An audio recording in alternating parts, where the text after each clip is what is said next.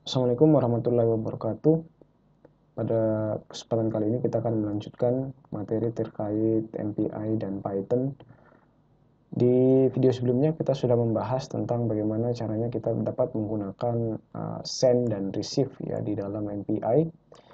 Kita gunakan untuk kirim mengirim data antar server.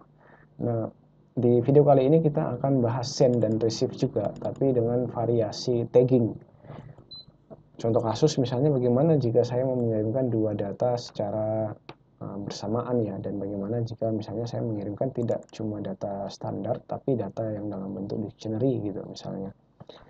Atau array ya array associate gitu. Gimana cara kirim datanya? Nah ini kita akan bahas di video ini.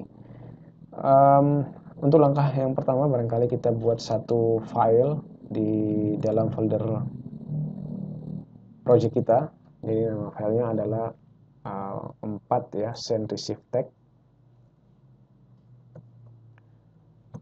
titik py untuk Python. Kemudian kita edit. Sebenarnya isinya sama persis dengan yang video sebelumnya. Jadi barangkali saya copy paste file yang ketiga ini. Jika ada yang belum ini maka silahkan nonton video yang yang sebelumnya ya. Ini saya copy paste seperti ini saja Nah, apa yang kita perlukan adalah kita bisa mengubah beberapa bentuk uh, data ya. Misalnya di sini data yang mau dikirim itu bukan cuma satu data, tapi beberapa data, maka kita bisa ubah menjadi uh, dictionary ya namanya kalau di Python. Kalau di bahasa pemrograman lain ada yang disebut dengan array associate gitu misalnya.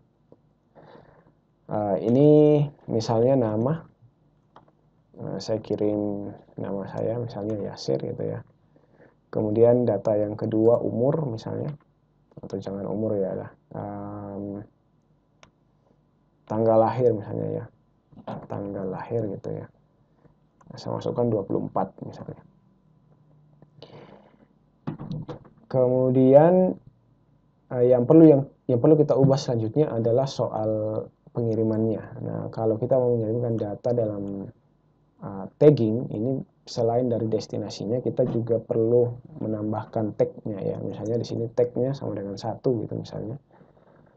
Maka uh, nanti ketika data ini ingin di receive oleh rank 1 atau server yang lain maka selain dari source-nya yang harus kita beritahukan kita juga mesti beritahu tag yang mana atau data tag yang mana yang mesti kita tampilkan ya.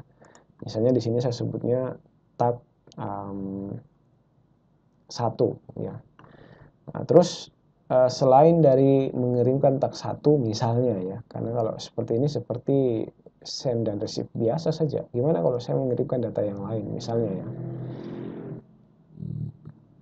Nah, kita bisa tampilkan atau kita bisa kirim dengan uh, cara yang sama. Misalnya ini ada mahasiswa namanya Kalak gitu ya misalnya. Ah, tanggal lahir misalnya tanggal 31 misalnya ya. Nah, tag untuk data 2, ini data 2.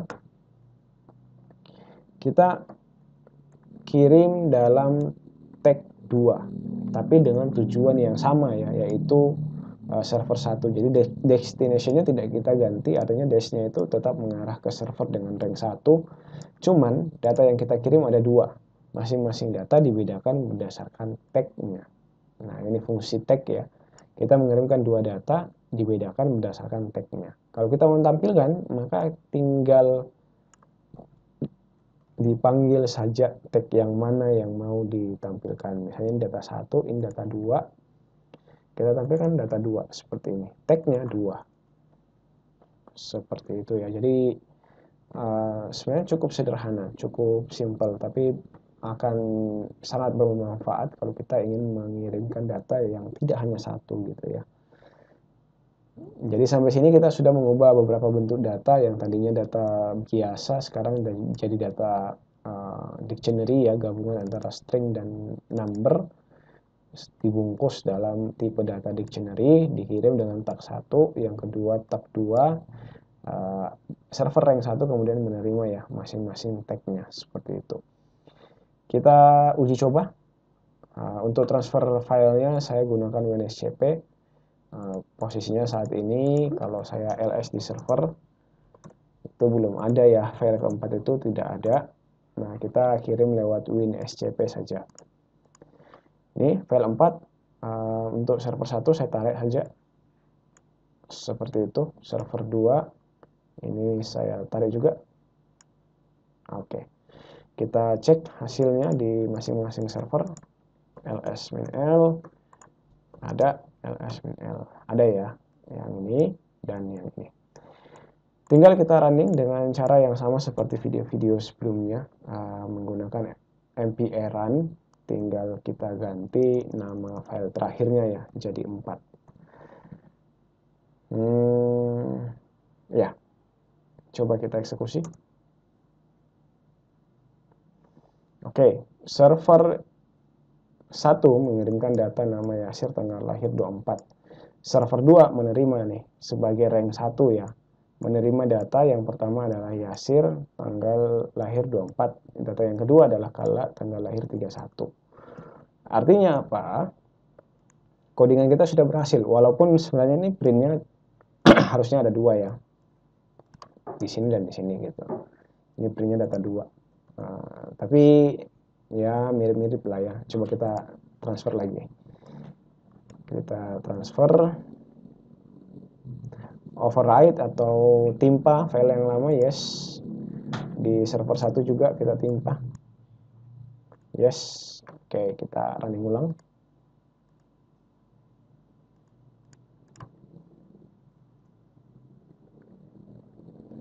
Oke, server 1 mengirimkan nama Yasir, server 2 menerima Yasir. Server 1 mengirimkan nama Kala, server 2 menerima Kala, dan seterusnya. Bisa juga seperti ini, ada variasi yang lain ya. Ah, bisa juga kita menampilkan data yang spesifik ya. Misalnya saya mau tampilkan namanya, maka tinggal uh, dibuka saja arraynya ya. Misalnya di sini nah saya mau tampilkan namanya kala gitu ya. Maka data dua karena ini data dua kita tinggal panggil arraynya. Nama associate-nya ya. Kita panggil key-nya ya, nama seperti itu. Ini kalau saya eksekusi ulang, nah ini mesti dikirim lagi ya. Tarik yes override tarik lagi yes override kita tes lagi di server dengan variasi yang kedua ya nah ini. Satu nama saja maka tinggal kita panggil key-nya. Jadi ini saya tampilkan kalak saja maka data dua dalam kurung kalak ya seperti ini.